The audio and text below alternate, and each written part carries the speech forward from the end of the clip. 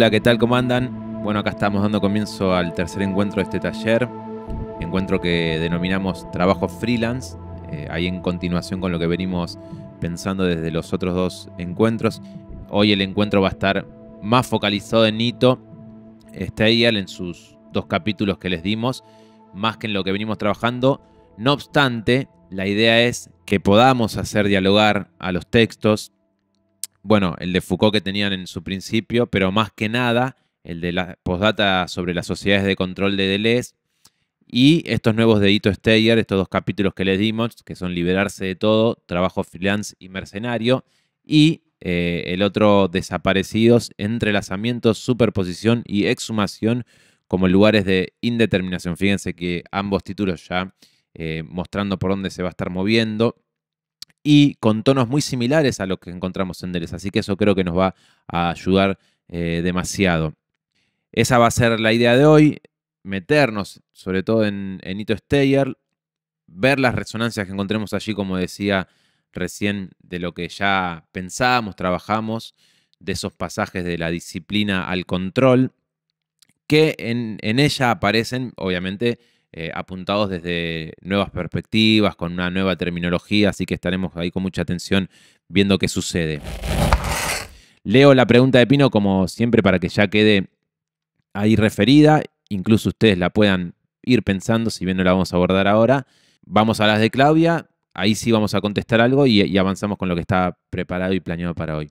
Dice Pino, pensaba en cuanto al poder como ejercicio y lo comparaba con la escena de la cena donde aparece algo programado por el museo, que es la performance del gorila, ¿no? del mono o chimpancé, como lo quieran pensar.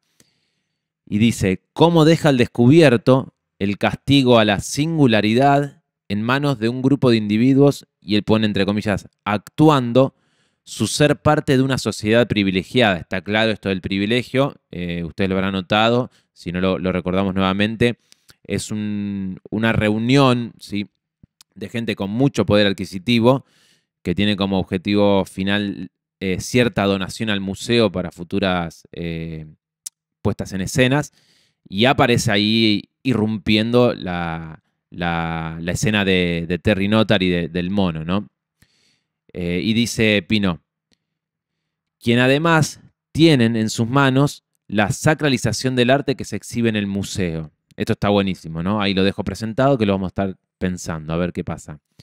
Y pregunta, ¿se puede entender como una moral ambigua en el sentido de que yo puedo cosificarte, pero cuando me lo hacen respondo con una violencia justificada por el entorno social al que pertenezco? Bien, está pensando obviamente en el desenlace final de la escena, ¿no? Cuando él lleva al extremo, cuando digo él, me refiero al artista, lleva al extremo su performance, ¿no? Eh, y arrastra de los pelos a esta muchacha y se tira encima, y bueno, luego todos atacándolo a él para salvaguardar a la muchacha. Bueno, ahí ya dejamos presente la pregunta. Y agrega y suma otra pregunta más. Eh, esta quizás eh, resonará a quienes hayan leído algo de lo que él menciona, quizás en otros, si vinieron a otros nuestros talleres o por su cuenta tendrán allí un, eco más, grande y si no, bueno, eh, veremos si podemos hacer algo intentando no desviarnos tanto, ¿no? Dice lo siguiente Pino. ¿Se puede comparar esa performance, la del gorila, que en realidad es un varón cisgénero blanco con prótesis, un híbrido, máquina y organismo? Una criatura de realidad social y también de ficción. Eh, imagino yo retomando que él decía, se puede comparar Acá estaría la biopolítica de Foucault, dice, que Haraway, Donna Haraway, dice una flácida premonición de la política del cyborg. Interrumpo para decir que si no leyeron a Haraway, él está refiriendo especialmente a una terminología que se usa en un libro llamado Manifiesto Cyborg, que si alguien lo quiere se los podemos dar en PDF.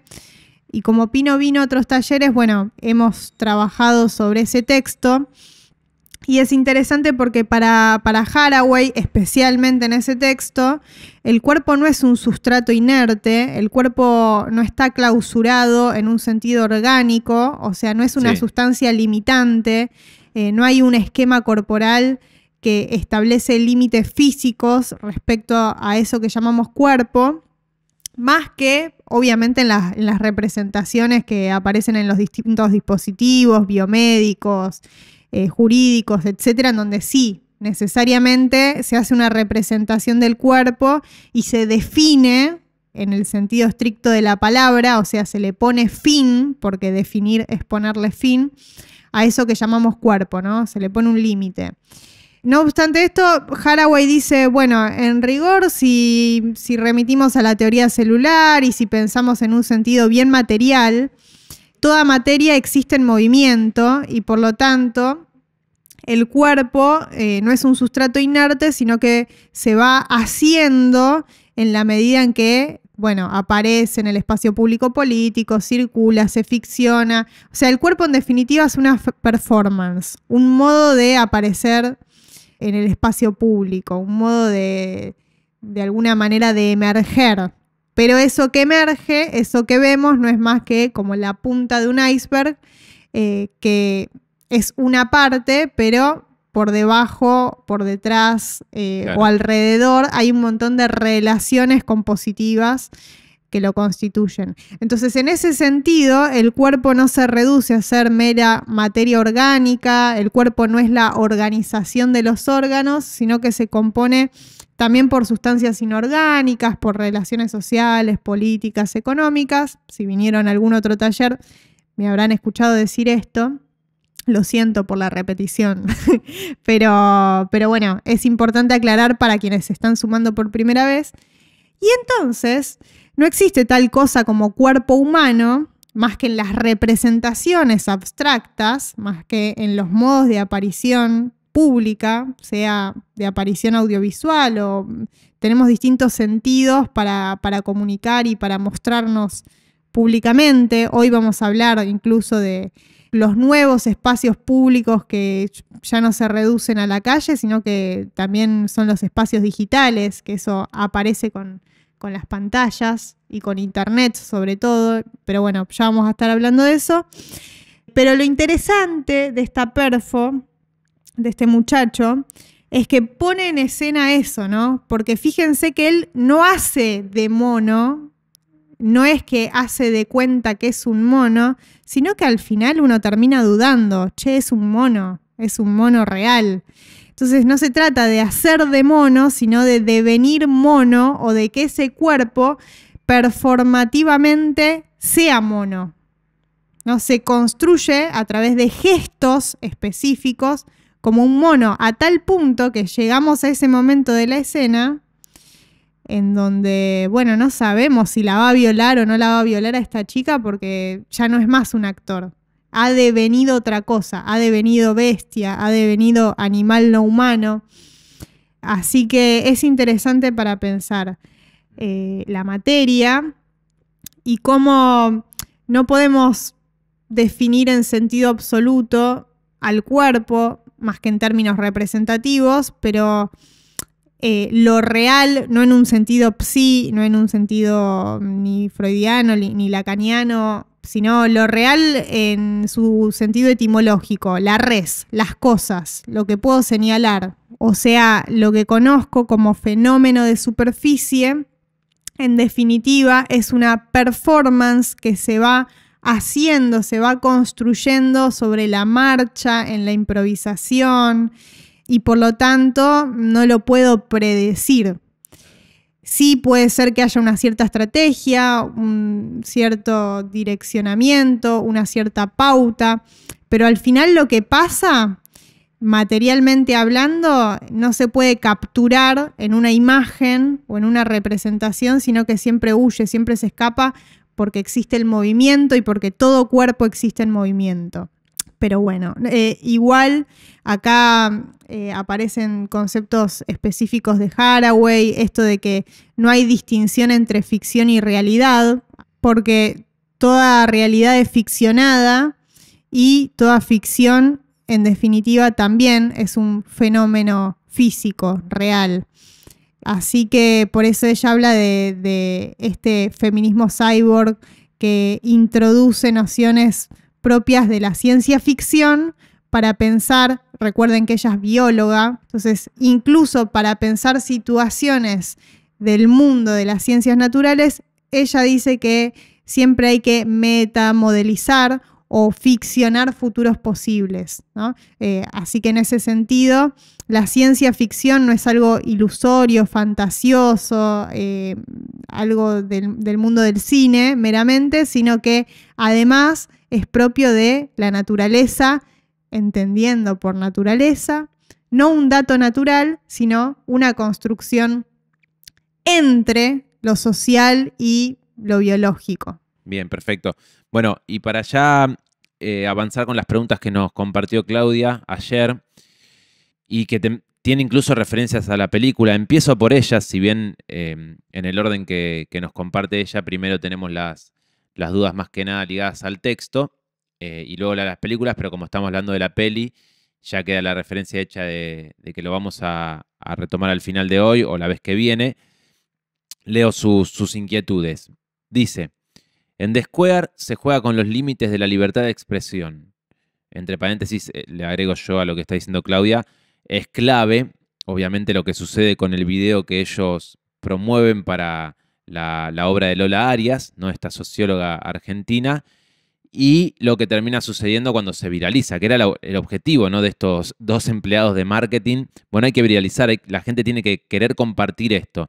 Bueno, y esa escena final o casi final cuando da la conferencia de prensa. Y, hay un contrapunto muy bueno entre un periodista y una periodista que dice, bueno, pará, si ustedes están dando marcha atrás, ¿qué pasa con la libertad de expresión? Y también tenemos la referencia de la, muchacha, la periodista que dice, eh, cómo les da la cara para hablar en nombre de otros, ¿no? De los vulnerables en este caso, que es como lo presentan en ese video, ¿no? Eh, es muy interesante el contrapunto entre las dos visiones allí y lo que tiene que contestar eh, Christopher, que está ahí eh, hasta las manos, lo están arrinconando y obviamente él presenta la renuncia. Pero bueno, ya vamos a llegar a eso. dice Claudia, a partir de, lo que señala, eso es un ejemplo para mí de esos bordes en el juego de las libertades individuales y el vivir en sociedad. Veremos si después de leer los capítulos de Ito Steyer o de, cómo los abordaremos, también profundizamos en esto, ¿no? En las libertades individuales. De hecho, así comienza su capítulo, ¿no? El que les dimos para leer. Eh, en ese análisis en torno a, los distintos tipos de libertades, ¿no? Positiva y negativa. Veremos qué pasa con eso. Y agrega Claudia en relación a lo que dice. Quiero decir, con individualismos exacerbados, como se ve cada día más, ¿hay alguna garantía de que todos vivamos con cierta libertad sin perjuicio del otro? Bueno, allí también tenemos la escena, ¿no? De, Terry Notary. ¿sí? Bueno, en un rato vamos a estar hablando de esto con Ito particularmente, que es como en la era de las pantallas, o sea, en esta ciudad global, porque justamente la diferencia entre el texto de Deleuze y el texto de Ito es que Deleuze narra la transición de eso que llamábamos sociedad disciplinar a la sociedad de control. Pero Deleuze no llega a ver cosas que sí llega a ver Ito por una cuestión cronológica que es que el texto de Ito es todavía más contemporáneo. Y Ito ve eh, qué es lo que pasa con Internet y cómo las representaciones dejan de ser representaciones meramente locales o nacionales eh, ya cuando hablamos de representación no necesariamente referimos al concepto de identidad nacional, eh, si bien eso sigue existiendo porque eh, obviamente sobreviven muchas de las cosas propias de los estados-nación, pero al mismo tiempo, y sobre todo en esta nueva generación de nativos digitales, parece que los más jóvenes, las más jóvenes, ya no se identifican con ese concepto de ciudadanía, con esa representación nacional, no importa de la nación que sea, y empiezan a identificarse más con representantes globales que aparecen en eso que llamamos Internet. Y eso, por un lado, nos abre el juego a pensar que es una representación más auténtica porque son los mismos usuarios los que aparecen ahí en Internet cuando quieren, como quieren, preguntas que se hace Ito.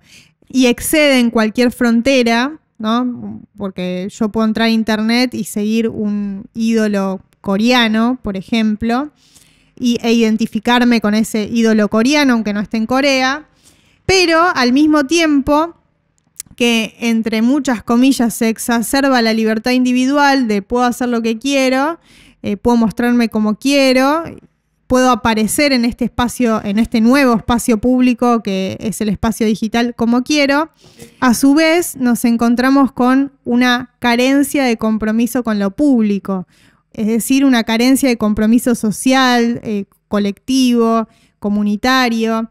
Eh, se exacerba mi singularidad, mi individualidad en el modo de aparecer, pero al mismo tiempo parece que no me, no me tengo por qué hacer cargo de todo eso que pasa en el espacio público, de los efectos incluso de mi modo de aparecer. Entonces hay una falta de regulación total de parte de los estados respecto a cómo se aparece en el espacio público y eso nos deja librados eh, a, obviamente, las voluntades del mercado, porque, bueno, hoy vamos a estar hablando de cómo las grandes corporaciones, y estamos hablando de las corporaciones que aparecen especialmente regulando el mundo digital, eh, Facebook, Instagram, eh, WhatsApp, que son en, definitiva las mismas personas las que están atrás de estas aplicaciones, al final, aunque no haya una cierta legalidad en el sentido institucional del término eh, y sobre todo remitiendo a la institución Estado, o sea,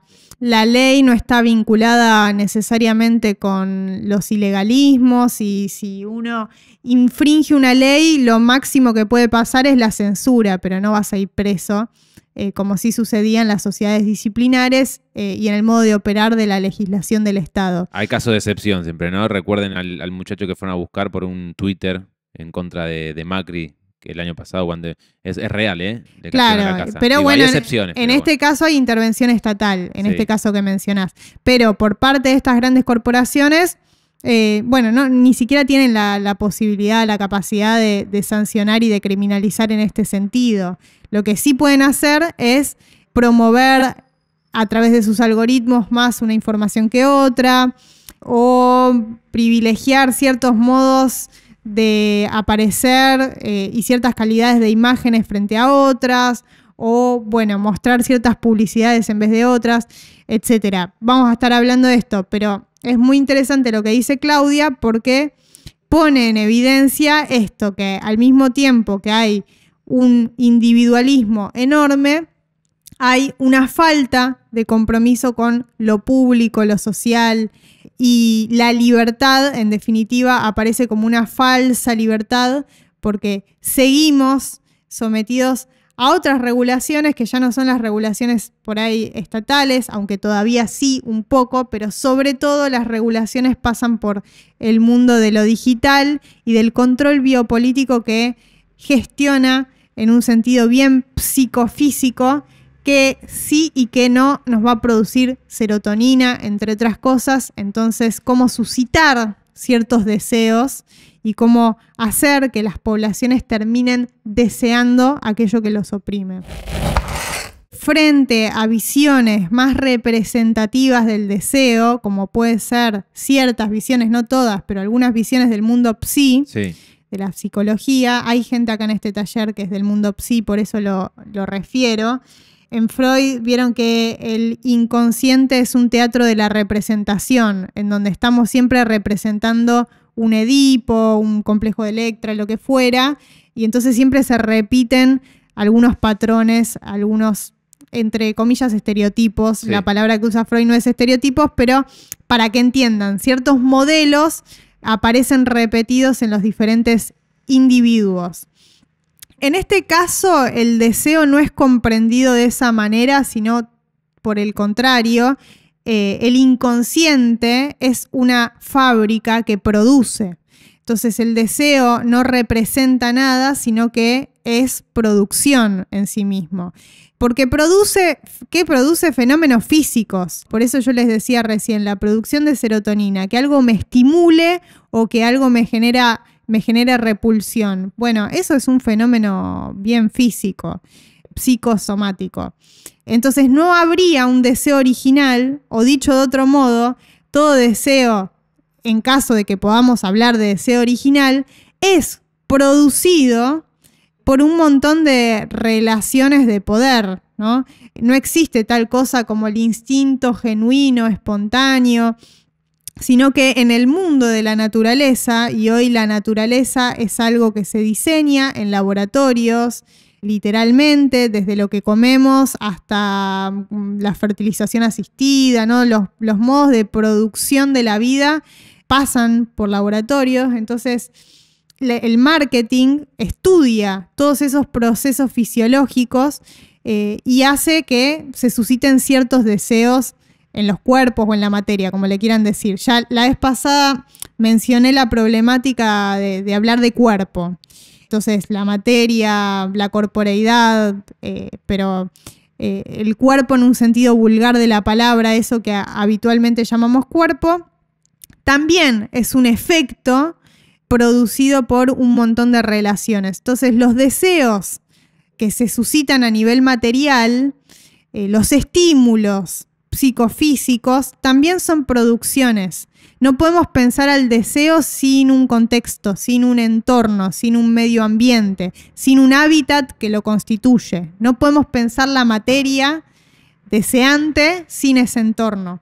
Por lo tanto, el deseo en tanto producción material o la materia deseante es siempre, y esto no en un sentido metafórico, sino en un sentido bien biologicista, producto de una interacción entre relaciones sociales y datos biológicos, ¿no? como puede ser el ADN, la información genética.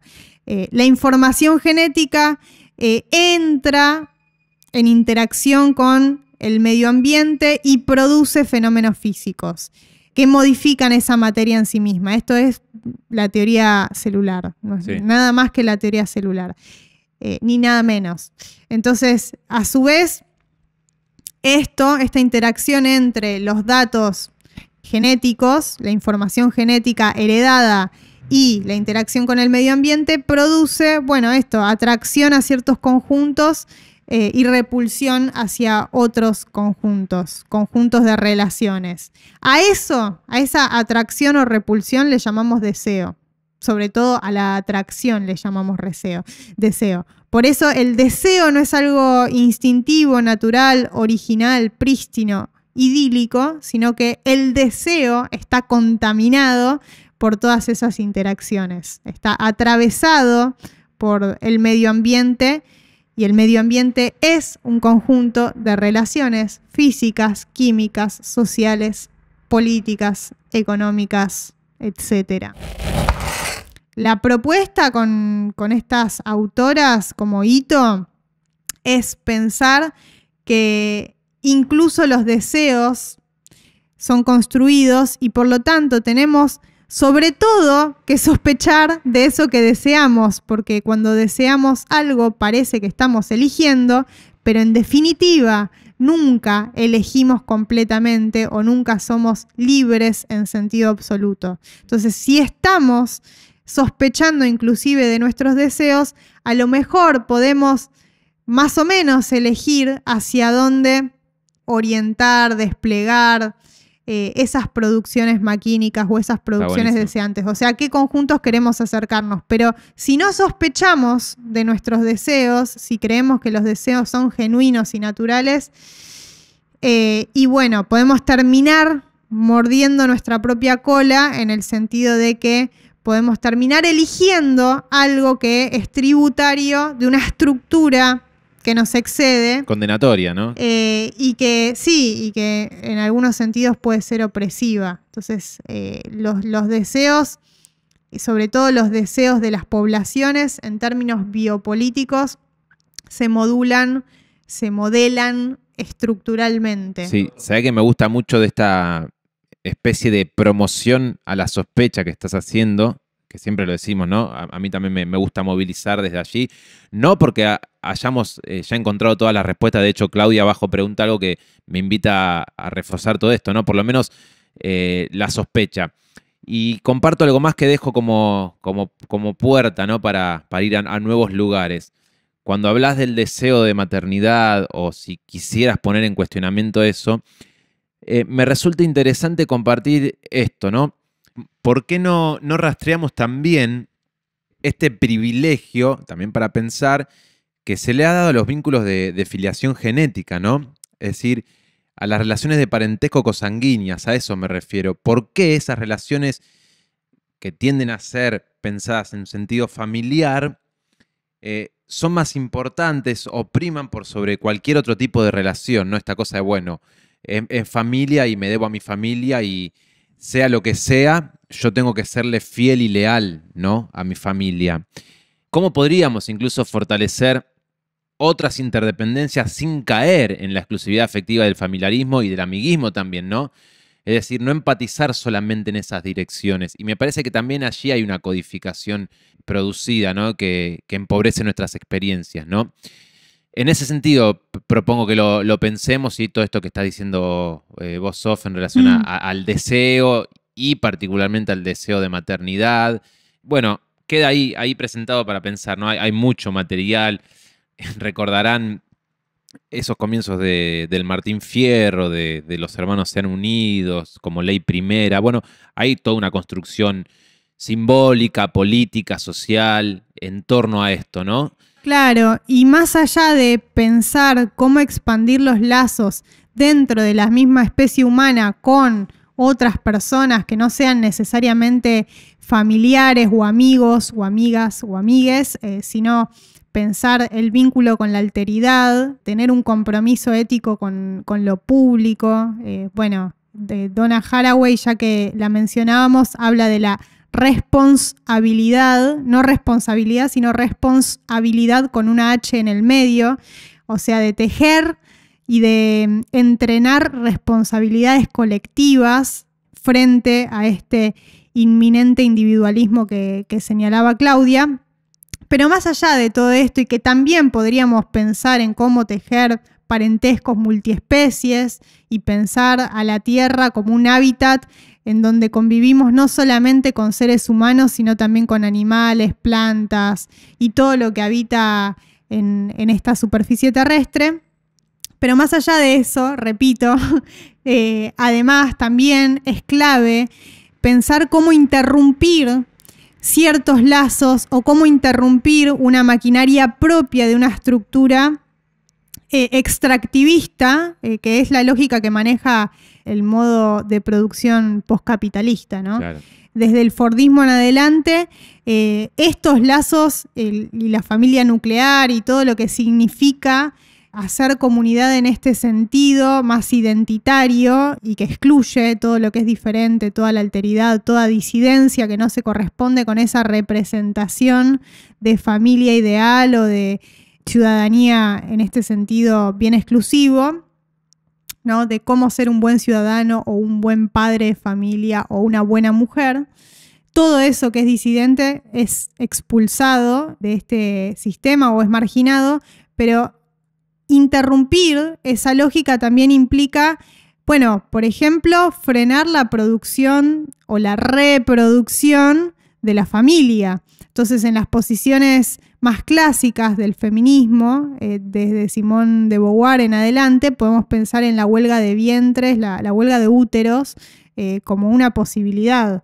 Hay quienes remiten a esto mismo desde, desde otra, por ahí, estructura lingüística, nos hablan de antinatalismo, o tenemos a Monique Wittig en un libro maravilloso que es El pensamiento heterosexual, que habla del hecho de desertar de la clase de mujeres, o sea, de destruir a las mujeres, pero no de destruir a las mujeres en un sentido empírico, como si la mujer fuera un cuerpo biológico, sino de destruir la categoría de mujer, que es lo que Simón de Beauvoir llamaba eterno femenino, que es justamente una construcción que se hace mediante una relación de dependencia con el varón. Entonces, el patriarcado es una estructura que tiene efectos muchos, eh, efectos misóginos, efectos machistas, pero es una estructura de poder que se piensa siempre mediante esa relación de dependencia entre varón y mujer o masculino y femenino. Entonces, fugar de la clase de las mujeres, desertar de la clase de las mujeres, ella dice como los esclavos fugitivos en su momento, fugaron de ese régimen de opresión que era la esclavitud, bueno, fugar de la, de la clase de las mujeres sería lo mismo. Eh, por eso ella dice que las lesbianas no son mujeres, que es una posición bastante extrema también, eh, y que por ende las relaciones que tejen las lesbianas son relaciones eh, no familiares en este sentido parentescal, genético, eh, no de vínculos consanguíneos, sino de afinidades políticas, eh, porque no tiene que ver con una orientación meramente sexual, sino que ser lesbiana por Monique Wittig era una posición política, más en los 70, que es cuando ella escribe. Por eso esas otras afinidades posibles son interesantes de gestar como estrategia política, pero también cabría pensar, bueno, qué lazos habría que desagregar, desarmar, si es que es posible pensar desde una lógica más antinatalista, cómo parar esta reproducción que, no, no, hace más que segregar y que excluir y que pensar al cuerpo en términos extractivistas. Eh, bueno, un montón de cosas que vamos a estar pensando a lo largo de estos encuentros, obviamente no con, este marco, no con Monique Wittig, pero sí con Ito, veremos si podemos abordar algo de esto. Sí, y ya que nombras a, Soft, eh, cierro, sí es un poco largo, pero está bueno porque ya en cierta forma nos fuimos metiendo en la propuesta y quedan ahí muchas invitaciones hechas, ¿no? Cierro lo, lo que preguntaba Claudia, que incluso aquí la cita a Ito, y se mete ya con la, idea del freelancer, ¿no? Eh, nos dice lo siguiente, primero entre comillas cito un pedacito de, la definición eh, que nos, nos convida Ito Steyer, y dice lo siguiente, al carecer de lealtad a formas de organización política. Eh, ahí es la, cita que, hace Claudia, allí cierra las comillas. Yo propongo que pongamos especial atención aquí en la, idea de lealtad, sobre todo vinculado a lo que estábamos diciendo recién, ¿no? Y, qué, tipo de lazos podemos tejer, eh, en qué sentidos nuestros lazos están mediatizados por todo ese familiarismo ¿no? que estamos refiriendo recién. Bueno, tengámoslo en cuenta. Sigo con lo que decía Claudia. Retomo.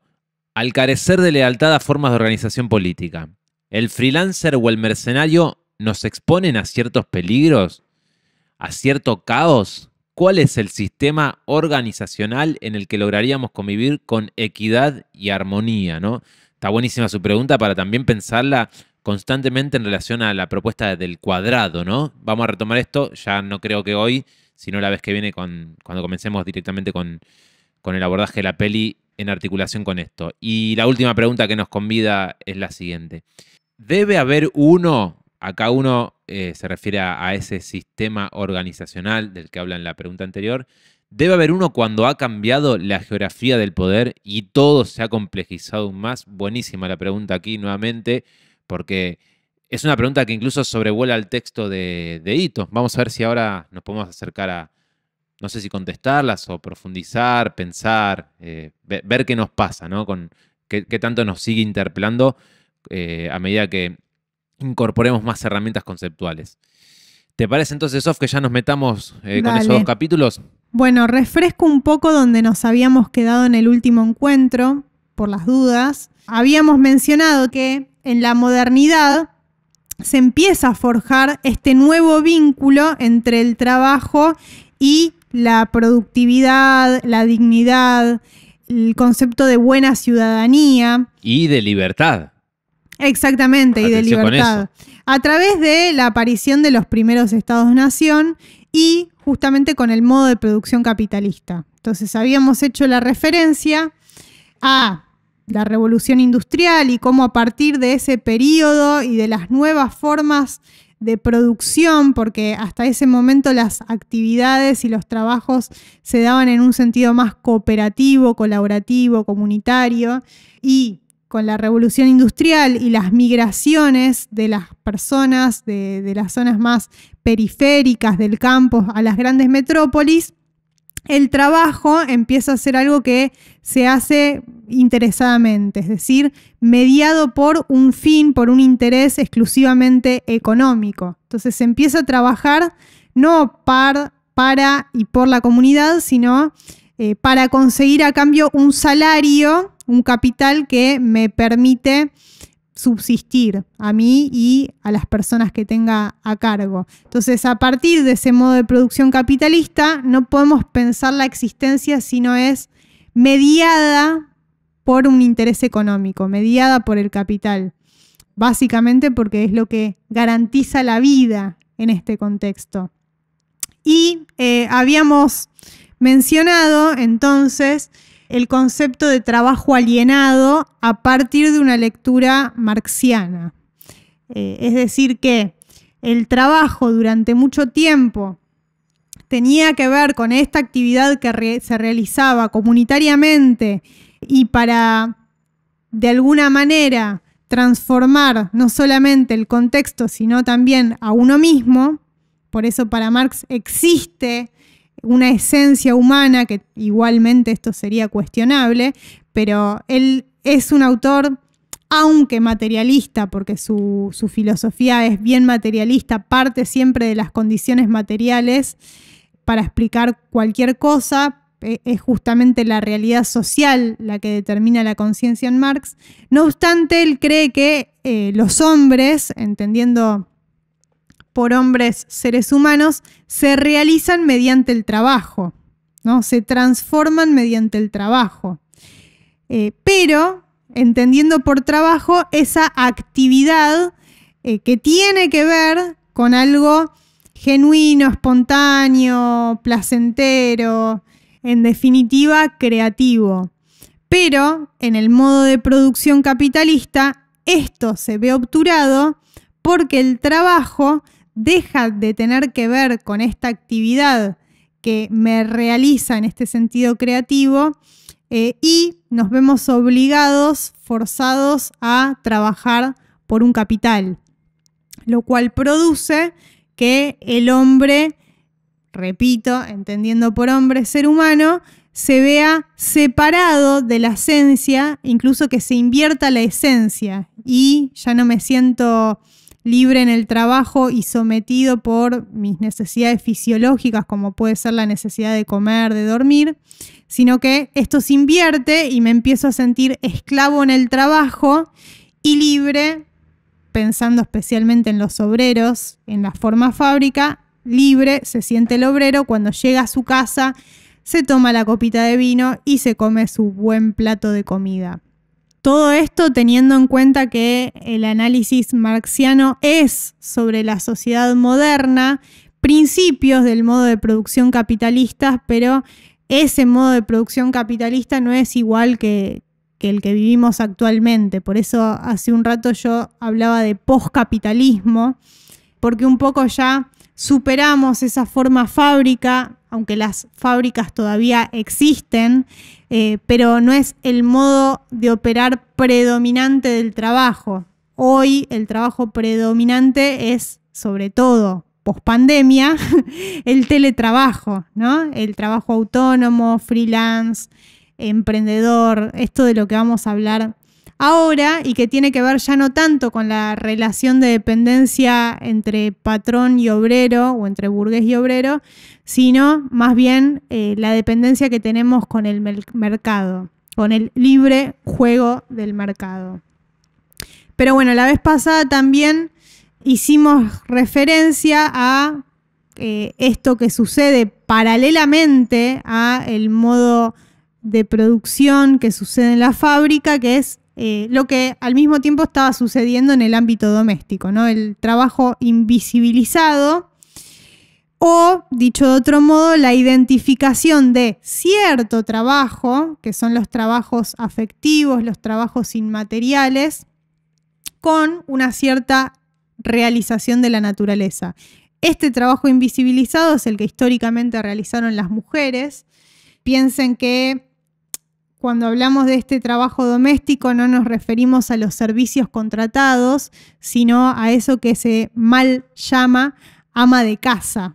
La ama de casa es aquella que realiza las tareas domésticas, desde cocinar, planchar y darle apoyo afectivo al marido y a los hijos, mediante eso que se llama amor o justificado por la glorificación de la familia, ¿no? Como si efectivamente fuera el único destino posible para las mujeres. El trabajo productivo de las fábricas no se podría haber llevado a cabo sin el trabajo reproductivo que hacían las mujeres en casa.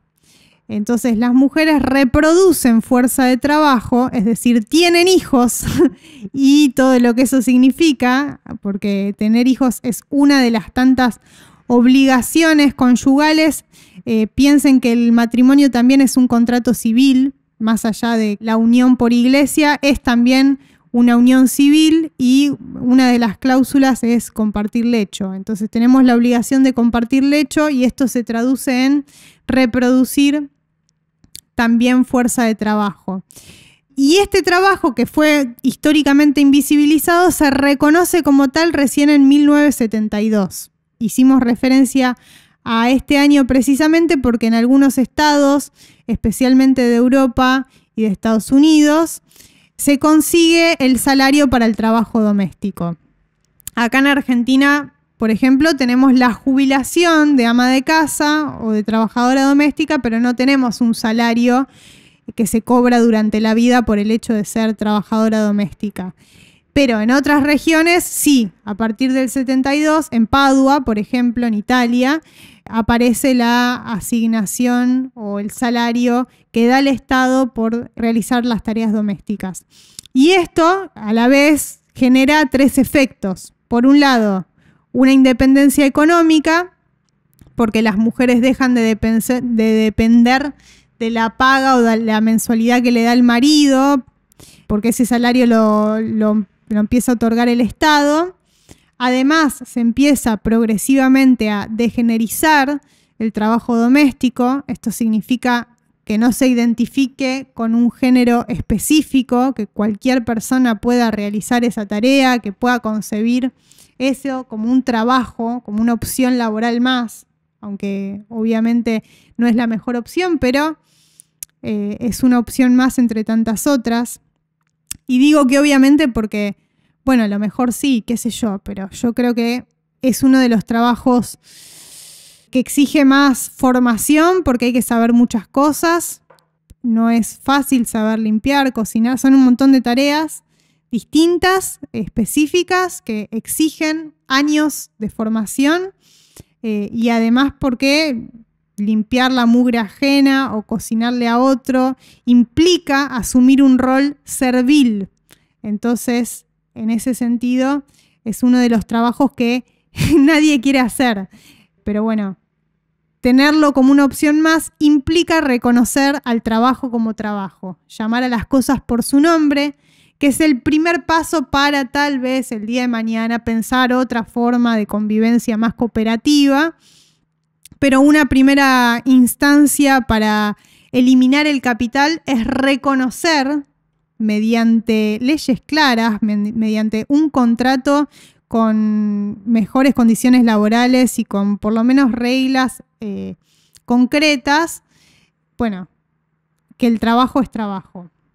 Entonces, con esto, que sucede en el 72, se amplía el concepto marxiano de lucha de clases y se tiene en cuenta también al sexismo y al racismo estructural. Eh, así que empieza a aparecer esta mirada más interseccional entre raza, clase y género para pensar la, la estructura en la que habitamos y en la que nos desarrollamos laboralmente. Dicho todo esto, hasta acá nos habíamos quedado.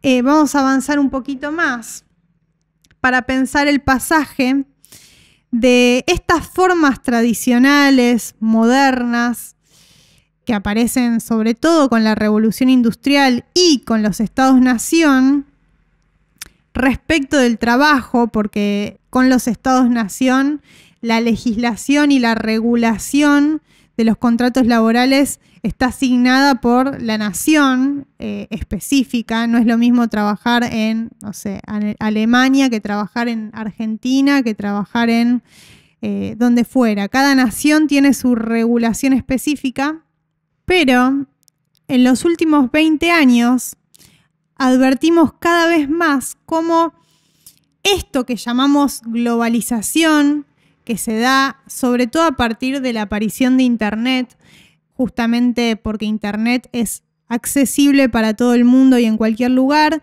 y eso vehiculizó otras formas de, trabajo que no necesariamente nos atan a un territorio, sino que el trabajo se puede dar internacionalmente mediante estas vías que nos propone Internet.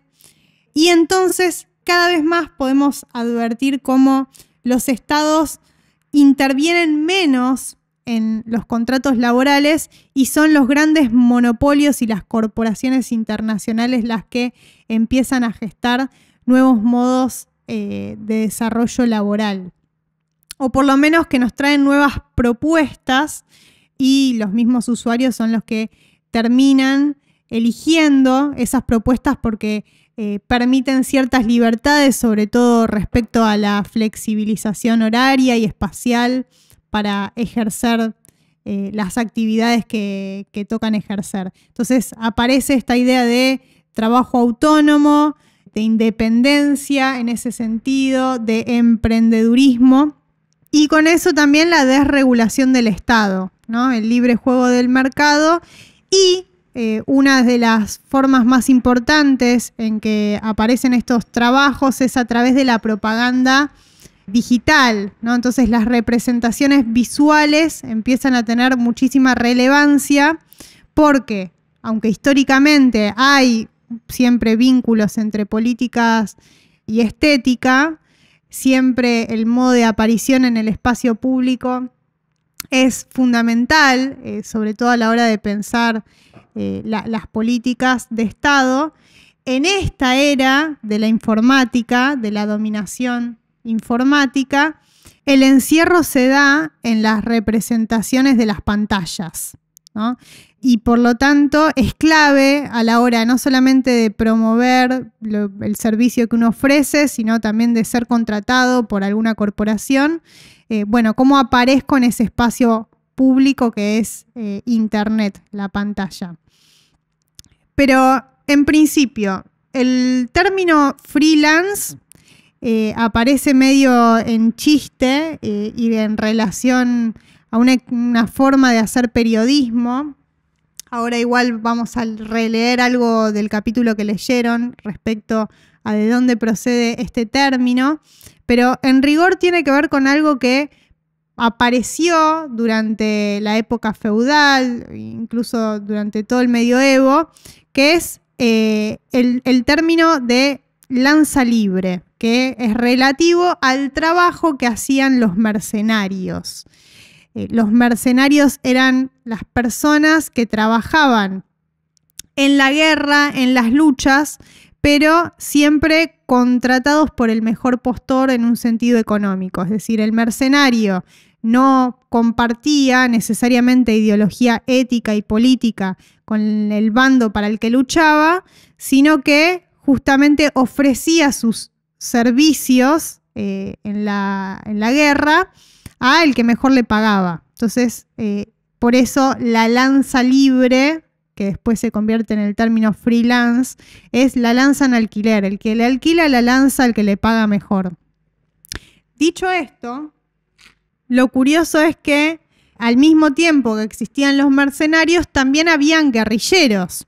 Los guerrilleros también peleaban en las luchas, no solamente internacionales, sino sobre todo en las guerras civiles, pero eh, no por dinero, sino justamente al contrario que los mercenarios, por una afinidad ética y política con determinadas causas. Entonces, tanto guerrilleros como mercenarios compartían a veces los mismos espacios eh, y estructuralmente se organizaban para la guerra de una manera muy similar, solamente que lo hacían por motivos diferentes. El mercenario lo hacía por plata, el guerrillero lo hacía por convicciones. El mercenario, el modo en que el mercenario trabaja, realiza una actividad, se parece muchísimo al concepto de trabajo alienado que veíamos en Marx y, según Ito, y justamente porque hay una recuperación del término freelance, eh, tiene muchísimo que ver con cómo hoy se ejerce la actividad laboral, también de manera mercenaria. Cabría preguntarse si todo trabajo es mercenario, si existe la posibilidad de trabajar o de realizar una actividad de una forma no mercenaria, o sea, no atravesada por intereses económicos. Pero bueno, vamos paso a paso. Primero, leo del texto de Ito, eh, de la versión digitalizada, página 131, por si la quieren rastrear.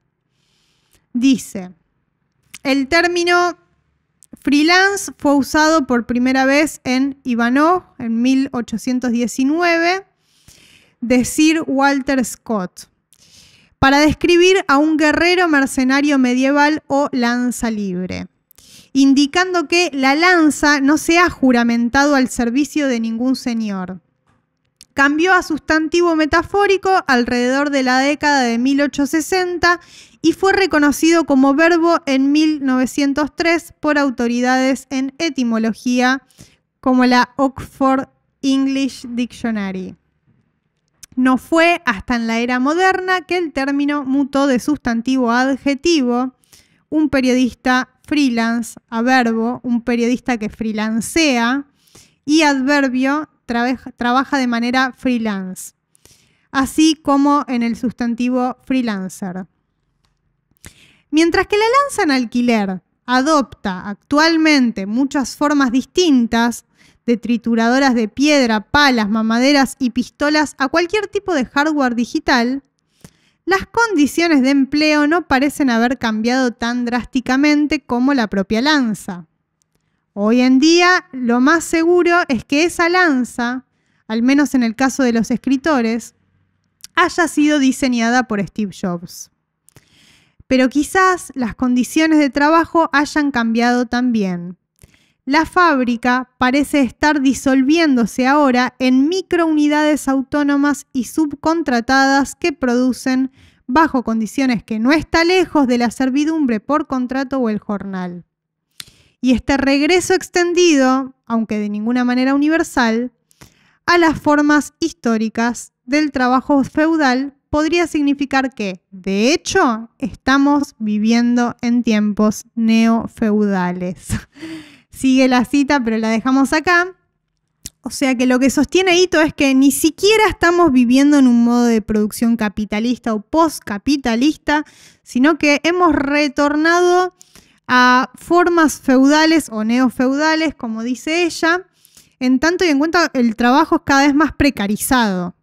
Eh, esta situación, este trabajo mercenario, hace que la actividad esté más lejos de lo esencial, esencial en el sentido marxista de la palabra, es decir, lo que realiza algo que tiene que ver con, nuestra singularidad y nuestra creatividad. Entonces, lejos de eso, el trabajo cada vez se hace más por intereses económicos y sobre todo en esta maquinaria informática, recuerden que hablábamos no solamente desde Hito, sino también a través del texto de Deleuze, de un pasaje de una máquina energética, de una sociedad disciplinar que va más o menos del siglo XVIII al XIX, en donde espacio y tiempo son considerados de forma productiva y en donde todas las relaciones están mediadas por los espacios de encierro, como pueden ser la familia, la fábrica, el cuartel, la escuela, a esta otra sociedad de control o máquina informática en donde el marketing tiene un rol central y ya no estamos en una sociedad de encierro, o en todo caso el encierro es a cielo abierto, tenemos esta ilusión de libertad, pero estamos constantemente endeudados con las nuevas formas, las nuevas recodificaciones de las instituciones, como puede ser la deuda que tenemos con la familia ensamblada, ya no es la familia nuclear, pero sí tenemos familias monoparentales, familias ensambladas, las nuevas modalidades de la familia.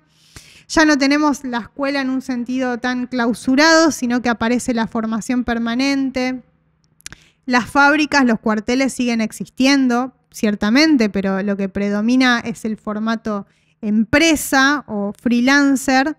Y todo eso nos mantiene atados a la desregulación del Estado, pero a otras regulaciones que son más microfísicas, más biopolíticas y que tiene que ver justamente con esos procesos biológicos que están, como siempre, y, como decía Claudia, contaminados por estas relaciones de poder. Bueno, entonces, de una sociedad disciplinar que producía cuerpos máquina, es decir, cuerpos productivos y capaces de rendir y de responder a las exigencias de, ese modo de producción en la fábrica, pasamos a la era de la postproducción y la edición de cuerpos sin sujeción.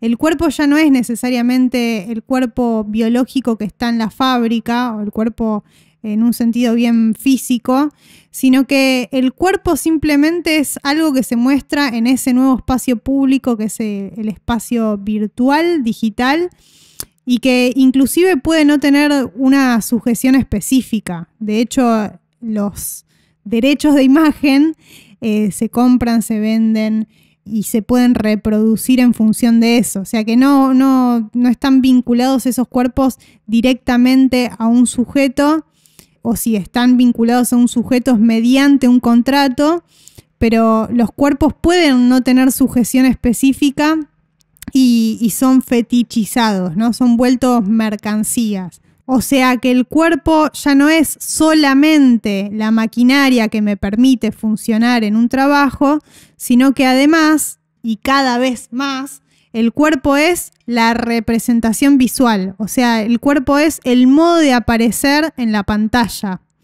Y lo que se vende es una representación que puede incluso no coincidir y que generalmente no coincide con la fisicalidad que encontramos en, eso que llamamos realidad, ¿no? En la red, en las cosas.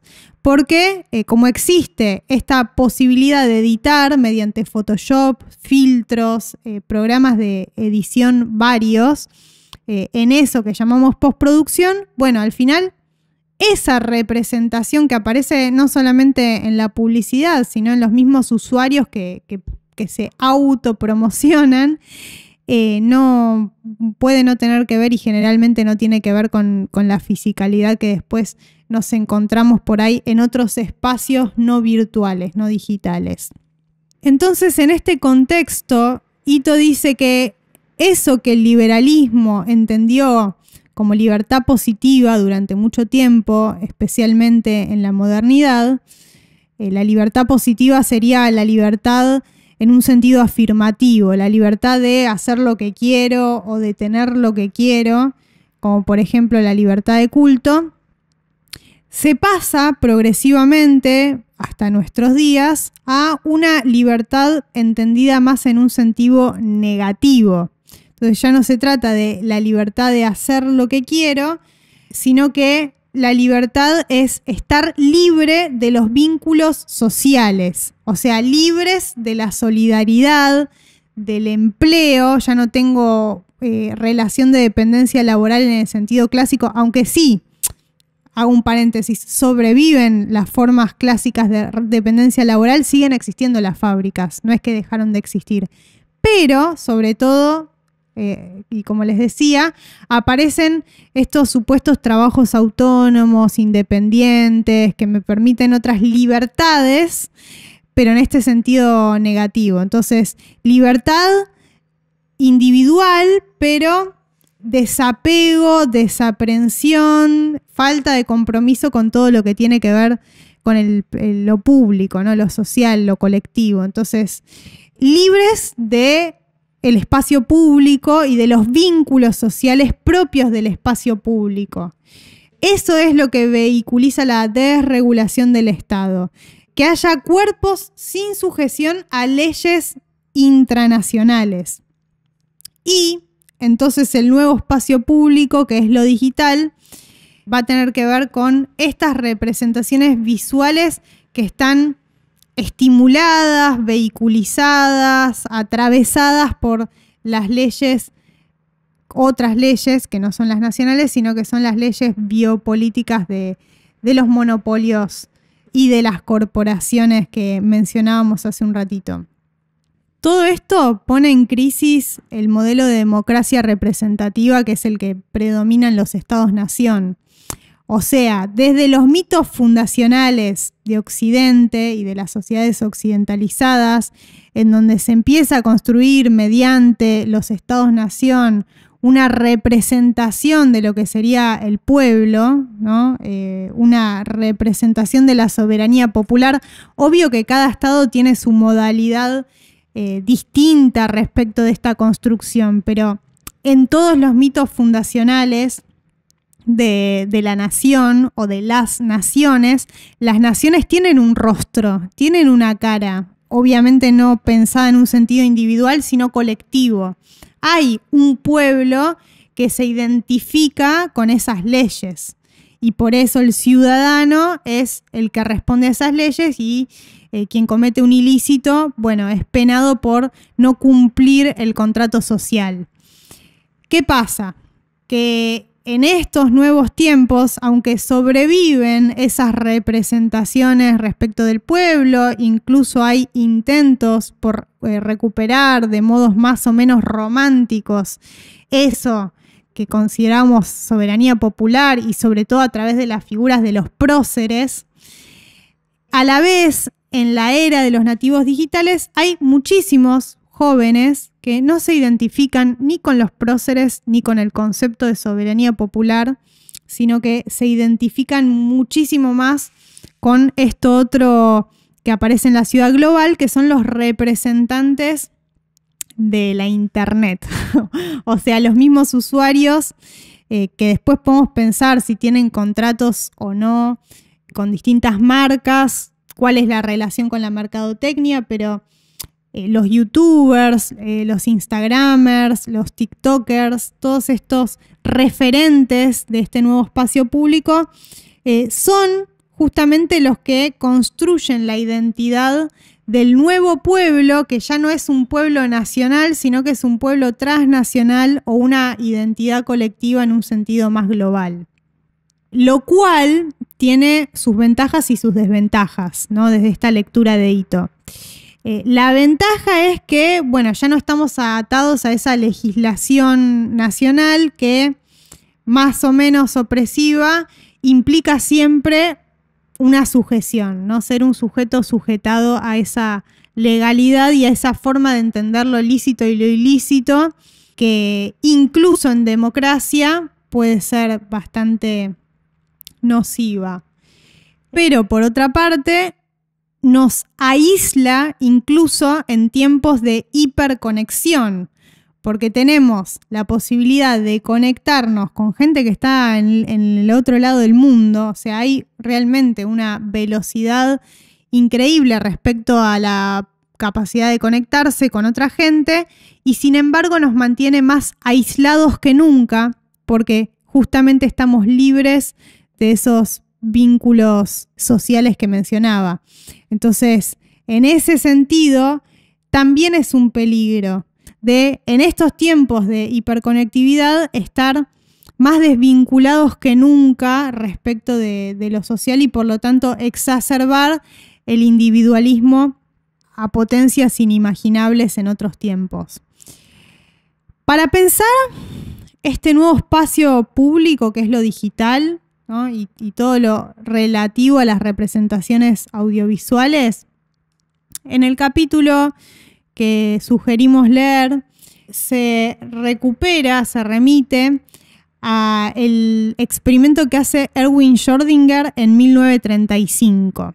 No sé si lo conocían de antes, es un clásico eh, pero bueno, si no lo conocerán por primera vez, ahí un poco se narra cómo se hizo ese experimento, en donde se pone un gato en una caja y está la posibilidad de que se lo someta a radiación y a sustancias nocivas y el gato podría estar vivo o muerto en la caja. Ahora, eh, lo que pone en evidencia Schrödinger es que el gato, mientras está dentro de la caja, o sea, mientras nadie está viendo qué es lo que pasa dentro de la caja, está simultáneamente vivo y muerto.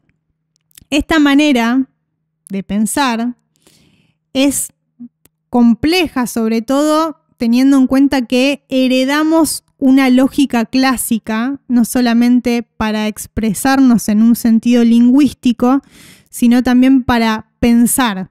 Porque vieron que hablar y pensar es un poco lo mismo, ya que pensamos con palabras. y cuando hablamos, articulamos el lenguaje, o sea que lo estamos pensando también. Y en la lógica clásica que, heredamos en Occidente, nuestros pensamientos se rigen siempre por la disyunción exclusiva. Esto significa que para que algo no sea contradictorio, no puede ser y no ser al mismo tiempo y en el mismo sentido. Porque si algo es y no es al mismo tiempo y en el mismo sentido, eso invalida el razonamiento. Por ejemplo, yo no puedo estar viva y muerta al mismo tiempo y en el mismo sentido porque eso es una contradicción clásica. A menos que esté hablando de una ficción zombie en donde sí podría estar viva y muerta y no representaría ningún conflicto. Eh, pero bueno, con otro ejemplo, yo no puedo estar parada y sentada al mismo tiempo y en el mismo sentido porque eso no sería lógico. En el sentido clásico de la lógica. Pero Schrödinger, y sobre todo a partir de la mecánica cuántica, muestra que la realidad no es tan binaria y no es tan disyunta como veníamos pensando, sino que existen las paradojas. Paradoja no es sinónimo de contradicción, porque las contradicciones invalidan los razonamientos.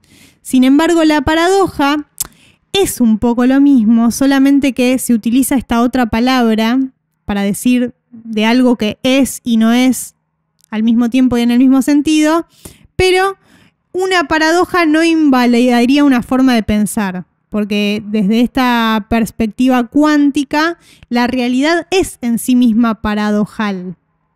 La realidad implica justamente una juxtaposición de cosas que en apariencia podrían ser contradictorias.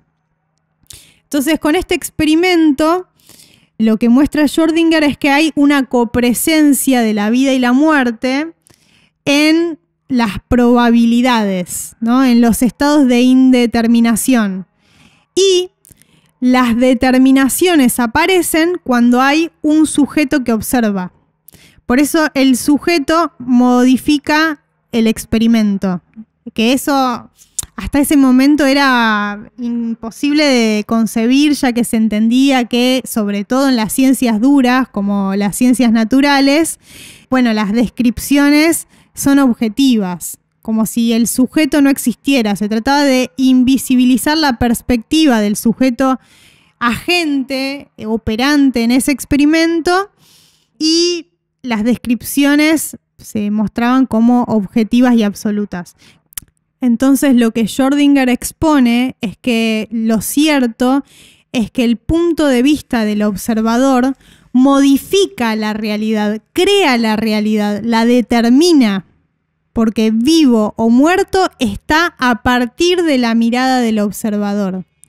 Eh, es por eso que las imágenes importan en tanto representan o invisibilizan o dejan por fuera cosas. ¿no? Por eso esto lo trae a colación Ito para explicar el vínculo entre política y estética. Y a partir de este experimento también hace referencia a otros casos de aplicación, como por ejemplo eh, la situación de desaparecidos en, distintas regiones. Eh, es más, ella habla de las fosas comunes eh, como mecanismos, dispositivos de despersonalización e invisibilización de cuerpos. Hay imágenes inclusive en el texto que son muy fuertes, pero son imágenes, sobre todo hay algunas de la Segunda Guerra Mundial en donde están las pilas de cadáveres y son cadáveres que al final, como están ahí amontonados, son nadie, son todos y ninguno a la vez. Y en ese sentido los cuerpos aparecen como retazos en un estado de indeterminación y efectivamente, en ese contexto, muchas de esas personas no eran sujeto de derecho. Eh, y por eso se las despersonaliza y por eso se las muestra así, porque es una manera de deshumanizar también. La idea es sobre todo en el siguiente encuentro, porque ya estamos llegando al final, eh, hacer este vínculo entre política y estética y las distintas formas de representación visual que aparecen no solamente en el mundo del cine, sino ahora en la era de las pantallas, como una forma de justamente eh, de sujeción de los cuerpos o de las imágenes respecto a los derechos. Y eso es peligroso porque convierte el cuerpo en mercancía, en fetiche, en cosa, incluso en retazo. Vieron que Ito dice, la magia de la postproducción es no solamente que la imagen está sujeta a permanente edición, es decir, que todos los individuos son, entre comillas, mejorables para el canon de belleza hegemónico y la forma correcta de aparecer en ese espacio público que es la pantalla. Pero más allá de esa permanente edición y mejorabilidad del sujeto y de los cuerpos, también la edición lo que permite es retasear los cuerpos, fragmentar los cuerpos, que ya no aparezcan cuerpos vivos, cuerpos en movimientos, materia justamente habitando, copresente, sino que aparecen fragmentos de cuerpos que se eligen, que se seleccionan mediante procesos de montaje, edición y postproducción y que luego se venden para promocionar otros objetos o como les decía hace un rato, para autopromocionarse, para conseguir una validación externa, porque a veces la ventaja económica viene mediada por esa validación externa, es decir, que por ahí no me pagan directamente por las views en YouTube, por ejemplo, sino que subo ciertas cosas a redes sociales para obtener una validación externa y a partir de esa validación que en algún momento me contraten de determinadas marcas para ahí sí conseguir un rédito económico. Pero no solamente importa el rédito económico, sino la mirada del otro, porque a través de la mirada del otro me constituyo.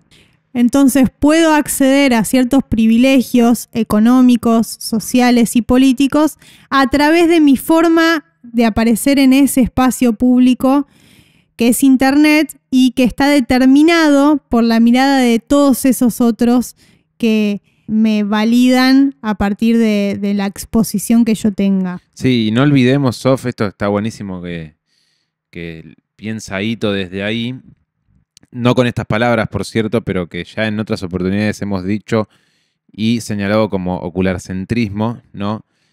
Este predominio de lo visual en el mundo en el que vivimos, qué habilitaciones conlleva, quiénes sí, quiénes no, cuán necesaria es la imagen en relación a ya no lo que, lo que señala Ito con esta palabra, sino de les al marketing como instrumento de control social. No perdamos de vista todo esto, ¿no? Sí, y que las poblaciones en definitiva no son individuos, no son números, sino que son cifras. Claro. Eso significa que se piensa en un sentido más global eh, y por lo tanto se pueden direccionar esas cifras informáticas a partir de estímulos o, chantajes.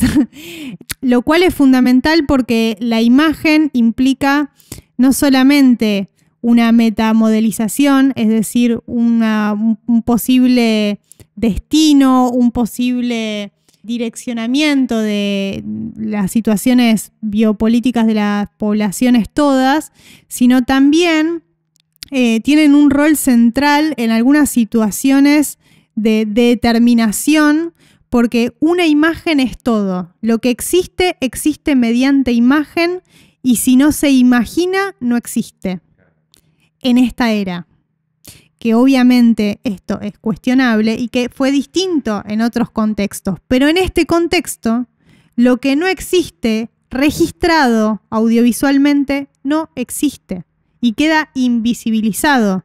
Y es peligrosísimo porque lo que no está representado en Internet, por ejemplo, o a través de una foto o a través de una filmación, entonces para el mundo entero no existe. Sí, todas aquellas subjetividades que quedan al margen de la exposición porque por diversos motivos no se corresponden con determinados cánones de belleza o que son considerados discapacitados o que directamente no tienen las condiciones materiales para aparecer en ese nuevo espacio público, quedan relegados a la inexistencia. Si entraron en crisis las democracias representativas, si el pueblo no es el pueblo que nos cuenta el mito fundacional respecto al, Estado-nación que sea, ¿no? no importa si hablamos de Argentina o el que sea. Pero si ya no hay un concepto de pueblo ligado a esa identidad con los próceres, con los símbolos patrios, etc. Y las nuevas identidades se forjan a través de estos espacios, todo aquello que no aparezca en estos espacios, que no esté identificado mediante estas plataformas, bueno, se neutraliza, se invisibiliza absolutamente. Hmm. Y esta operación no solamente la podemos pensar a partir de las redes sociales, sino también, como dice Ito, un poquito antes, a partir de ciertas políticas totalitarias que buscaron invisibilizar a distintos sujetos a partir de un control de la estética. Y el nacionalsocialismo y las fosas comunes y todo esto que ella cuenta a partir de los campos de concentración y exterminio fue un mecanismo de desaparición de cuerpos, pero también de subjetividades, ¿no? de representaciones. Claro.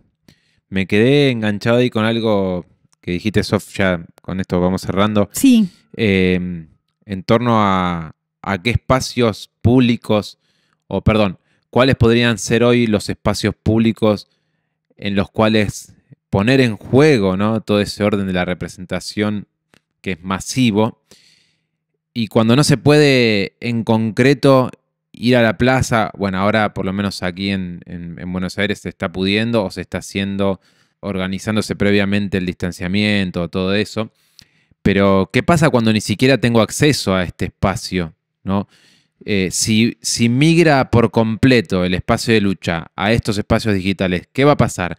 Esto que ya es un problema que siempre planteamos cada vez que pensamos la representación, ¿no? Quienes hablan en nombre de. En la película de Square, esto eh, es notable. ¿Por qué? Porque justamente la promoción que se utiliza para convocar a la gente a, verla, que lo vamos a retomar, ¿eh? ¿eh? ya hoy no, por cierto, que se usa para convocar a la gente a la obra de, Lola Arias, dice, bueno, tenemos que tocar la fibra de, la gente para que esto llame la atención y se hace un uso político, se hace un uso publicitario de lo que en la película se llama sectores vulnerables, ¿no? Y ya desde el principio, antes de que aparezcan estos dos muchachos del marketing, la película juega con ese contrapunto. Ya lo dijimos la vez pasada, ¿no? En la calle, de qué vidas valen o qué vidas son válidas, cuáles, cuáles no, eh, ante quién se genera una conciencia popular. Bueno, en la conferencia de prensa, como dije al principio, cuáles son los riesgos de hablar en nombre de. Bueno, un montón de situaciones muy, muy sensibles que me parece que podemos retomar, ¿no? Sí, y también eh, repensar cómo se ha puesto el arte digital o el arte plástico o el arte en general, eh, inclusive la música, todo al servicio de la propagación viral, ¿no? Al servicio de la propaganda si no es viral, no sirve. Exactamente, como eh, el marketing ha dominado todo, inclusive ha tomado el arte como un arma. Entonces, el arte eh, es también un, un, arma que se puede usar en un sentido militar. Eh, en relación a esto, quiero leer una cita y con esto ya cerramos por hoy. Dale de la página 163 y 164 de los condenados de la pantalla. Es un párrafo que empieza sobre la mitad de la página 163.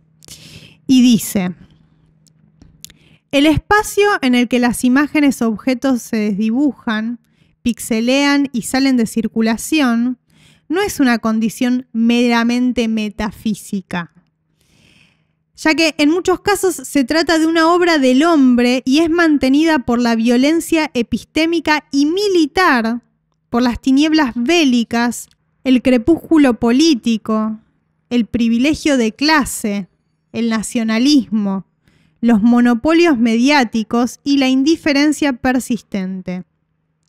Su resolución se gobierna de acuerdo con paradigmas legales, políticos y tecnológicos.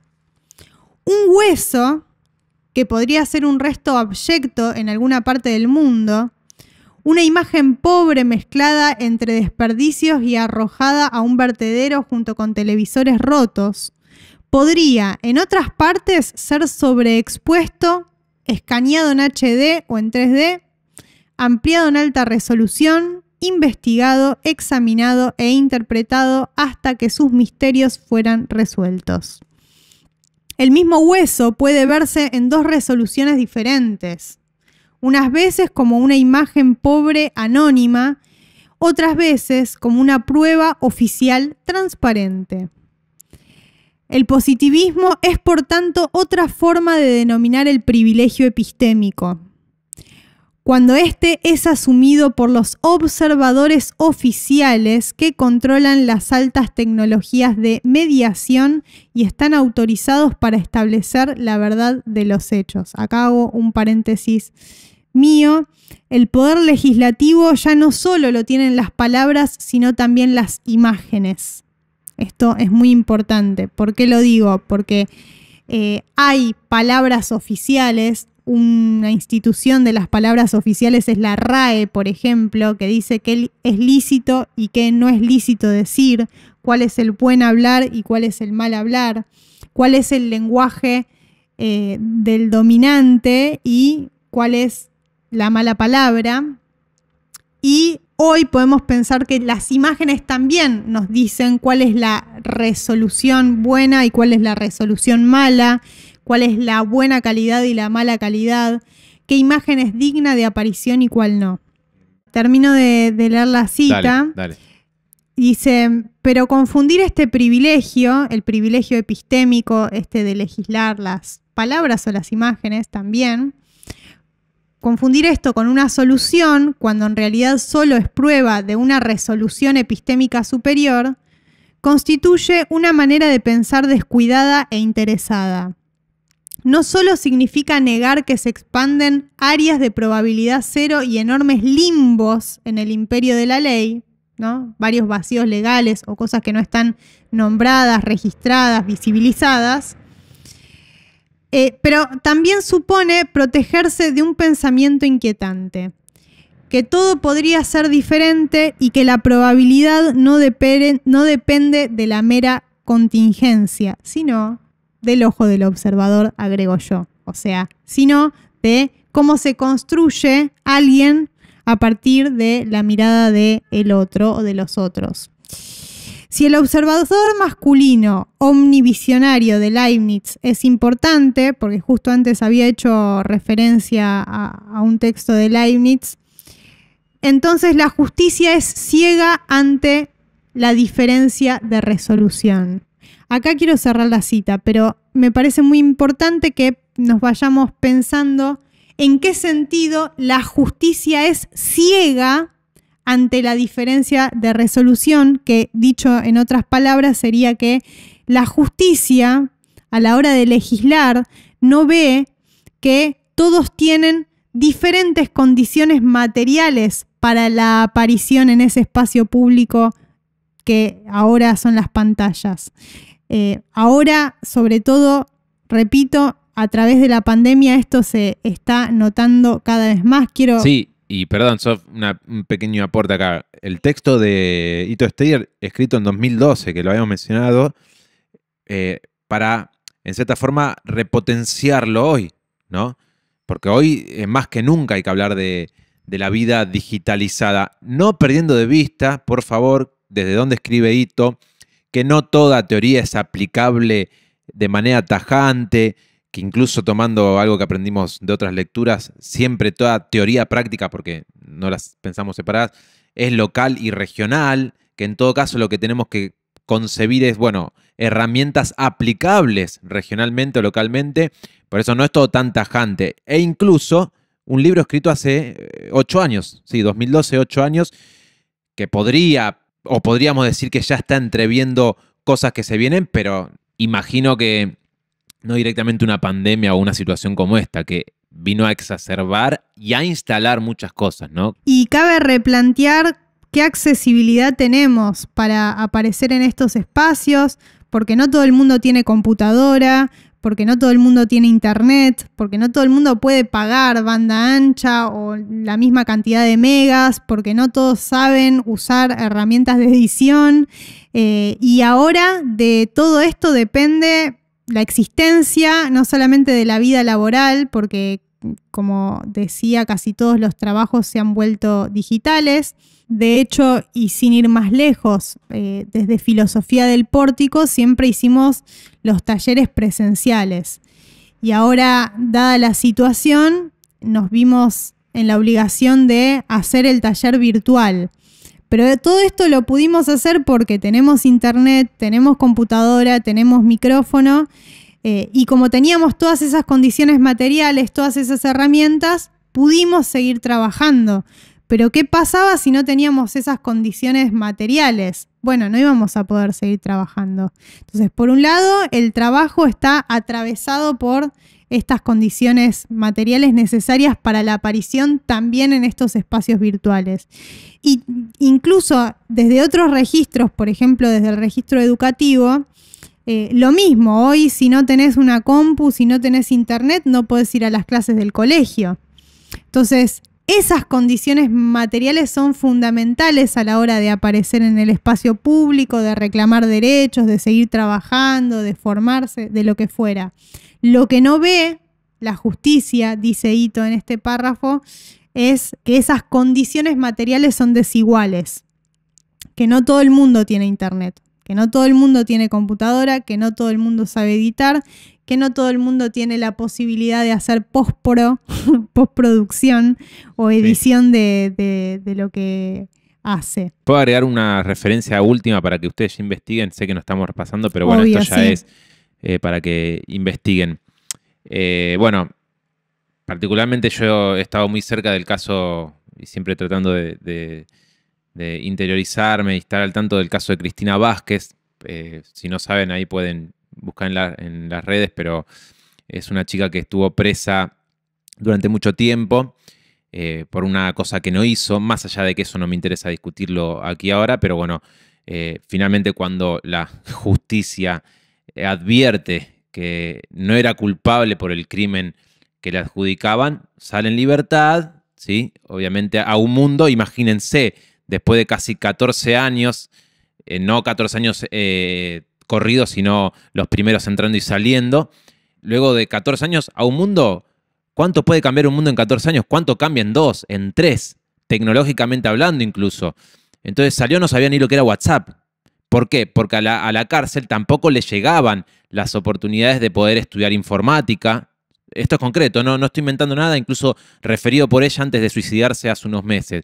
Entonces, eh, allí también opera la marginalización. Si, si yo no tengo acceso siquiera a la educación informática, en un mundo que está dominado, como decía Sof, desde la informática. Entonces, claro, ¿cómo hago pie ante, ante un montón de exigencias eh, que no puedo dominar? Porque no sé ni siquiera usar un teléfono, no sé cómo pagar por, por internet, no sé cómo, eh, nada, no sé cómo pagar un, hacer un trámite del Estado por internet, que ahora incluso va a haber que aprenderlo de manera acelerada, ¿sí? Si me cuesta a mí, digo ahora yo, Tomás, que siempre fui un queso para hacer esas cosas, y si no voy al banco me da como un poco de miedo a ver si algo se pierde camino, una, una, boludez, ¿no? Pero bueno, imagínense si, si, si ni siquiera tengo el acceso a ese conocimiento, cómo se va a profundizar esa segregación que, bueno, estamos advirtiendo desde el texto de Ito.